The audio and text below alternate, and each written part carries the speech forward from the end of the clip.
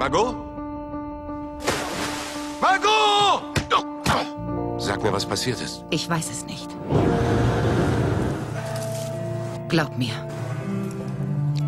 Ich habe dich nie nach Einzelheiten gefragt. Du gehst mir auf den Nerven mit deinen Fragen. Ich war dort als Vater, um sie zu identifizieren, nicht als Gendarm.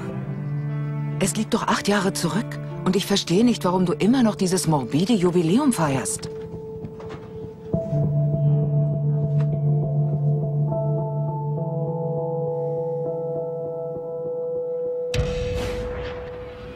Wie kommst du darauf, dass sie es ist? Du wirst noch verrückt. Kriminalpolizei, wenn Sie uns folgen würden. Bei Ausschachtungsarbeiten wurden zwei Leichen gefunden.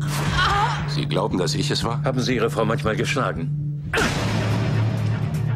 Verdammt, Ich werde überwacht. wir haben Spuren, aber keine Beweise. Warum? Hallo, Maitre. Sie haben die Tatwaffe bei Ihnen gefunden. Sie werden Sie verhaften. Kommt nicht in Frage. Ich habe sie gesehen. Ich schwöre, ich habe sie gesehen. Damit hat Ihr Klient gerade ein Geständnis abgelegt. Wenn man unschuldig ist, flieht man nicht. Das sind die Bullen. Sie wollen dich doch nur manipulieren. Bruno, es tut mir leid. Nicht der Rede wert. Ich will die Wahrheit wissen. Kannst du dir überhaupt vorstellen, wie sehr deine Tochter mir fehlt?